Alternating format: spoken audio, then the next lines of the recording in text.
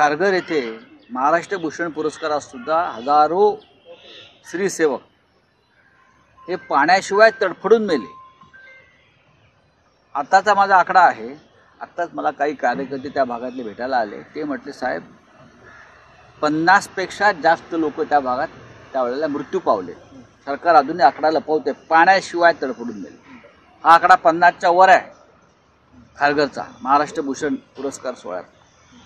ते बळी सरकारनं पाणी पाणी करणाऱ्या शिवसेवकांचे घेतले. आज शिवसेने उद्धव गटाचे नेते संजय राऊत यांनी टीव्हीवर त्यांच्या मुलाखतीमध्ये एक भयंकर असं स्टेटमेंट केलंय की जो खारघरला जो काही कार्यक्रम झाला डॉक्टर आप्पासाहेब धर्माधिकारी यांचा समाजभूषण पुरस्कार देऊन जो गौरव करण्यात आला त्यामध्ये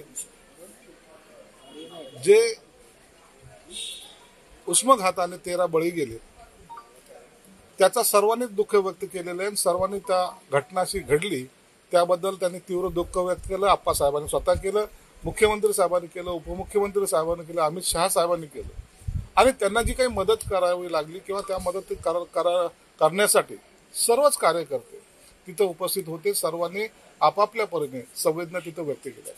परंतु तरीही आज संजय राऊतनी स्टेटमेंट करताना स्त्री सदस्य जे आहेत पन्नासच्या वर गुदमरून चेंगराचेंगरी करून मेलेत असं एक भयानक स्टेटमेंट केलेलं आहे. आणि हे स्टेटमेंट करताना कोणताही बेस त्यांच्याकडे नाही. कोणताही त्यांच्याकडे असा अधिकृत रेकॉर्ड नाही.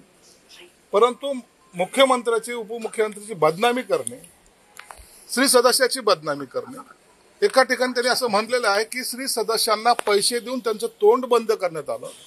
हा खऱ्या अर्थानं जे मनापासून तन मन धनाने या समाजाची नाही महाराष्ट्रात नाही तर देशामध्ये निस्वार्थपणे सेवा करतात हा त्यांच्यावर केलेला आरोप सुद्धा त्या आम्हाला तो सहन झालेला नाही. मुख्यमंत्र्याबद्दल बोलताना त्यांनी लिमिट क्रॉस केलेली आहे. त्यांनी मुख्यमंत्र्याबद्दल जे काही शब्द वापरलेले आहेत त्या त्यामुळं आज आम्ही पोलीस स्टेशनमध्ये येऊन त्यांच्या विरोधात तक्रार दाखल केलेली आहे.